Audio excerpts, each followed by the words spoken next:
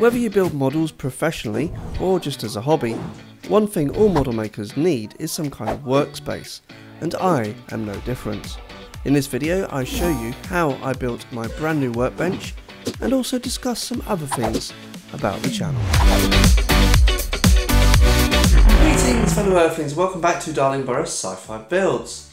Now if you're a regular viewer to the channel, you'll probably recognise two things. Firstly, I've not posted a video in around about six months. And secondly, you probably won't recognise what's going on behind me.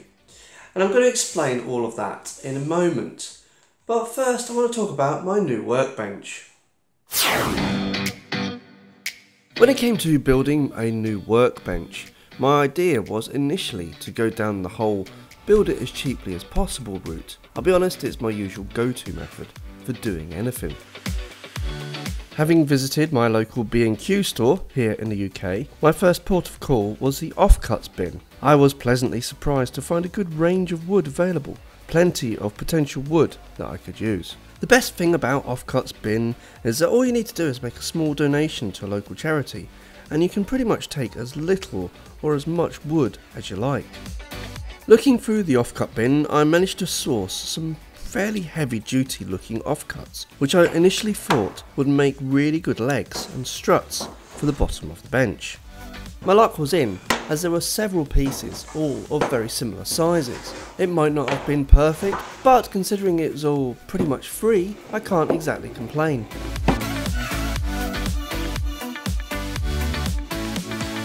As well as long pieces of wood, I also had a collection of sheet material as well, which I planned on using for the top of the workbench. My plan was fairly simple, all I wanted to do was create a basic frame which would include the legs and a crossbeam which would support the weight of the worktop. I had previously worked out the height that I wanted the worktop to be, so I started measuring both the width and the length of all the wood pieces so that I could cut them to size and create a frame where the worktop would be at the right height. As I didn't have any access to any power tools, I took all of the wood to my local hack space and used some of the equipment there. In an ideal world, my preference would have been to use a miter or chop saw to cross-cut the pieces I was going to use for the legs. Unfortunately, there wasn't one at the hack space I could use at the time, so I decided to use the table saw and the cross-cut sled instead. Whilst it wasn't an ideal solution, it certainly did the job.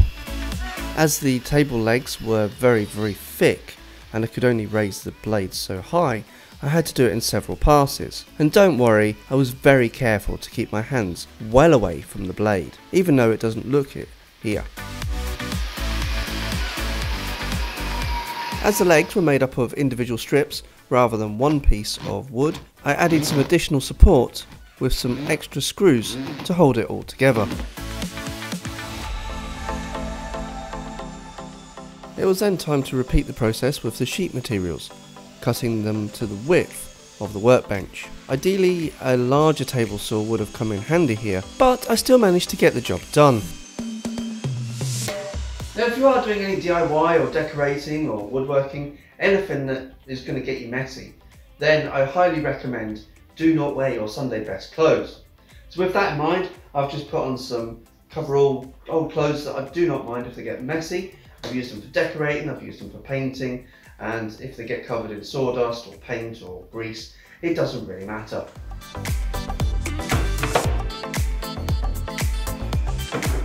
Once all of the wood was cut down to length and the sheets were trimmed down to the width of the worktop, I carefully arranged the wood to create a mock-up of what the worktop would look like when it was finally assembled.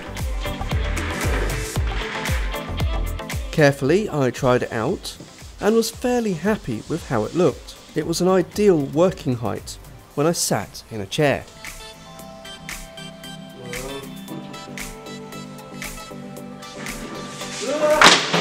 Feeling quite happy with the progress so far, it wasn't until I got home that I'd realised I'd made a bit of an error in my plans.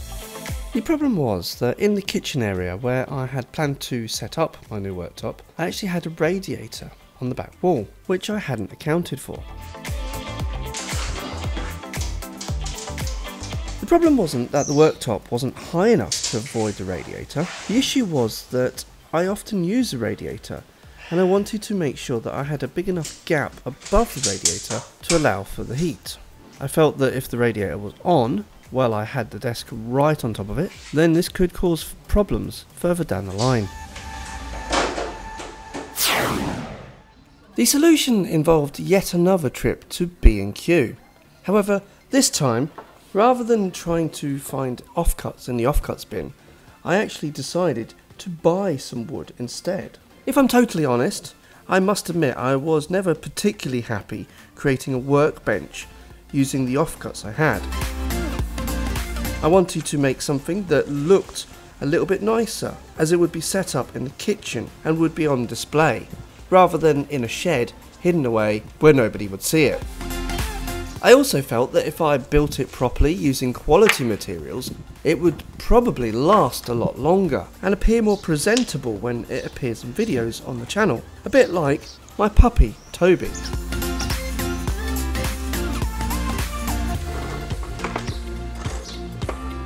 When it came to constructing the new workbench, I started off by mocking up a workbench in my back garden, ironically using the offcuts that I'd used for the first version of the worktop. Unlike before, I actually managed to borrow a miter saw from a friend of mine so I could cut the wood to length. Cheers Michael, thanks for the saw, appreciate it. I then started to measure the strips of 2x4 to create a frame underneath the new workbench.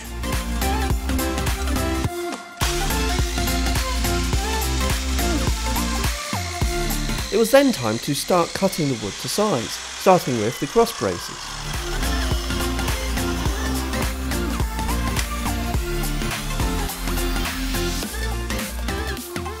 After making a few cuts, the blade on the saw actually came loose.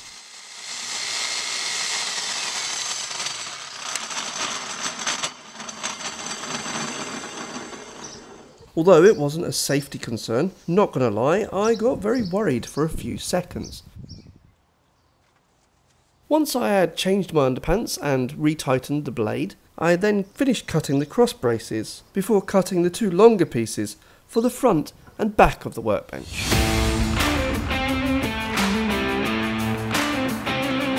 It was then time to start assembling the frame that would go underneath the plywood checking that everything fit. Guess what?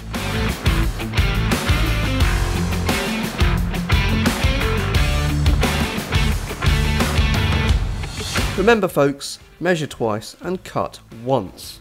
What do you think of my measurements? Fortunately, the wood that I'd cut was actually too long, so I could still cut it back down. Unfortunately, main issue I've got is it's currently 9pm and it's a bit too late to use the uh, electric saw because of the noise. I've got Nathan, a five year old, upstairs in bed. There's kids surrounding this area, they're probably all in bed, maybe some babies. And I think it's a little bit late to make too much noise for the sake of two cuts. To do it in the morning. However, just at this point, my neighbour started strimming their garden. So I thought, well, I'm not going to be any noisier than that, and I went for it.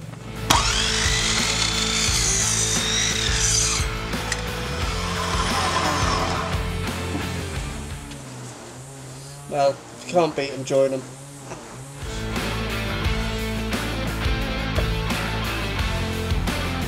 After trimming the long pieces down, I then started to assemble the frame which would support the top of the workbench, making sure that it was all aligned. Before I started to screw anything together, I first dry fitted the frame in place. Once I was happy, it was then time to start screwing the outside of the frame together. I created pilot holes before I screwed anything into place to prevent the wood from splitting.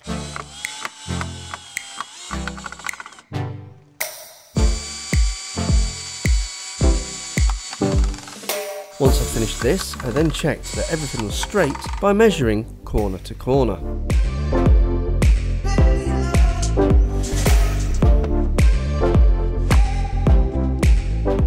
Using some spare offcuts for measurements, I added the cross braces to the frame in equal distances from the edges, screwing them all into place as I went.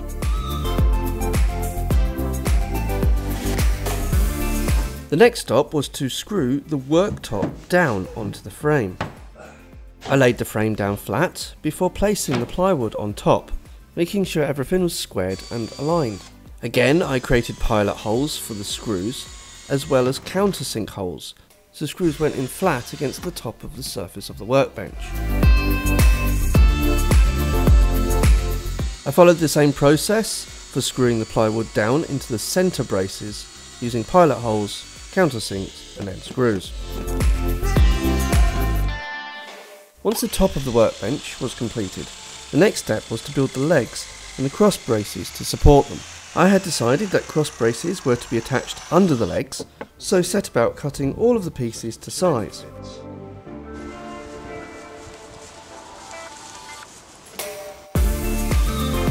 Using the worktop as a reference to the size, I then set up the legs exactly how they would appear under the desk. To make it easier to install the legs, I first attached the cross braces to the uprights using a couple of screws per leg. It was then time to drill pilot holes into the frame, countersink the holes and bolt the legs on.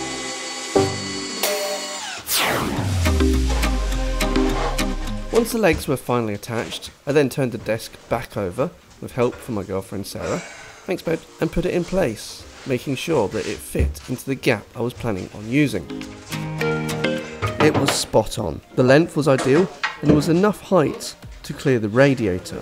It also included space for storage underneath as well as on top of the desk.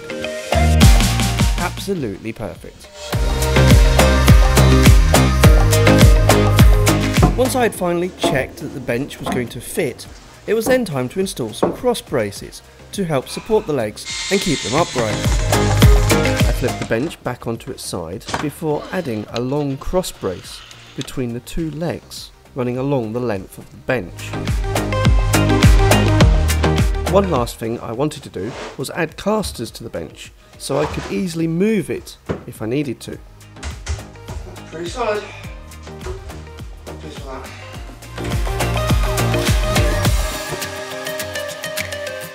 Found a set online which were extremely good value for money. The pack was absolutely brilliant and contained absolutely everything I needed, including all four casters, all the screws and washers, a screwdriver, and even a pair of gloves to prevent everything getting dirty.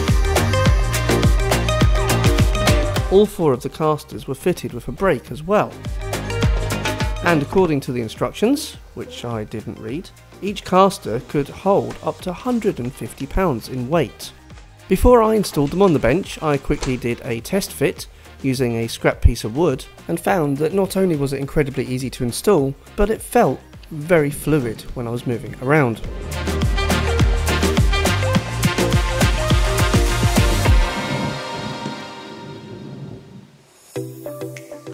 I first placed the casters on the underneath of the desk, right below where the legs were, and marked a spot where I needed to drill the holes. It was then just a case of drilling four holes per caster, and then using the screws and washers supplied, I simply screwed the caster into the bottom of the workbench. Now I'll be honest, I didn't use the provided screwdriver, however I'm sure it would have worked just as well.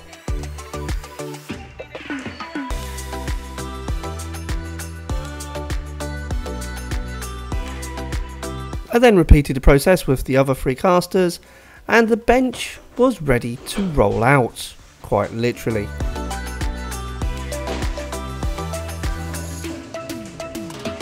Now I'll be honest, not only am I very impressed with these casters, they were very easy to fit, very, very uh, good value for money, and also the packaging and what you got with it was absolutely brilliant. I must admit, I'm very impressed with them, and I would highly recommend them, especially if you are looking to add kind of wheels to any kind of piece of furniture. Now what I'll do is I will set up an Amazon affiliate link in, I will leave it in the description down below. If you do want to buy the casters then please use the link, check it out. So the question is why have I got a new workbench? What happened to the old one? Why am I not still in the shed?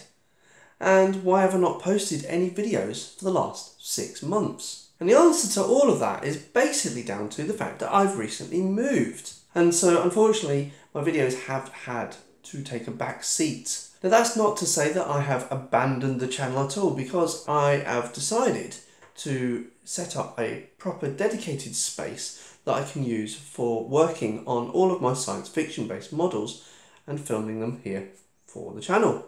And I'll be honest, the uh, urge to get back into there is very strong right now, as you can imagine, especially with all the paint and all these bits behind me, which I'll discuss in a later video. I am going to be obviously working on the projects that I have not yet completed. Uh, for example, the airlock door diorama. There is still some work to do for it, unfortunately. There's also some repairs to do for it. It got a bit broken in storage. And also I will be continuing my ETA TV. I've also got a load of other projects that I have basically wanted to start and I'll be working on them. Obviously now I've got a bit of space. So don't give up with the channel. I am still going to be doing lots of projects, so make sure you hit the like button and subscribe.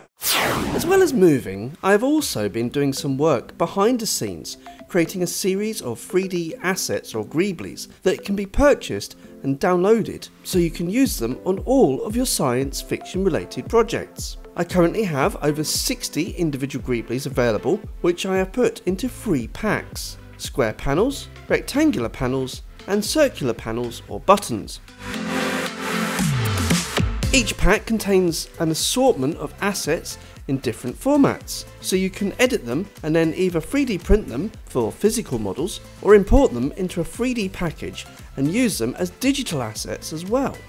And you can use them for personal or commercial projects. Each asset pack is available separately, however, if you want access to all of the assets, you can purchase the Bumper Value Box containing every asset in all three packs. All of these asset packs are available through my Buy Me a Coffee page. The link is down in the description below. But wait, there's more. If you want to save money on these asset packs, then sign up to become a member on my page as well. Not only will you get early access to any new videos I post on this channel, but you'll also get behind the scenes images and other information as well. On top of that, all of my members get discounts on any items that I sell in my Buy Me a Coffee page shop.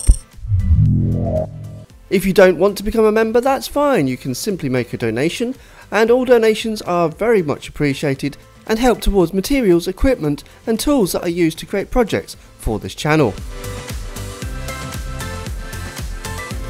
So after you watch this video, check out the link in the description and help support the channel. Cheers! So now that I've brought you up to speed, please just keep an eye out for some more videos. Obviously, I have just recently posted a Finding Greeblies video on the channel as well. Uh, in the meantime, there are quite a few playlists I have started. Check them out. And in the meantime, hasta la vista, I'll be back.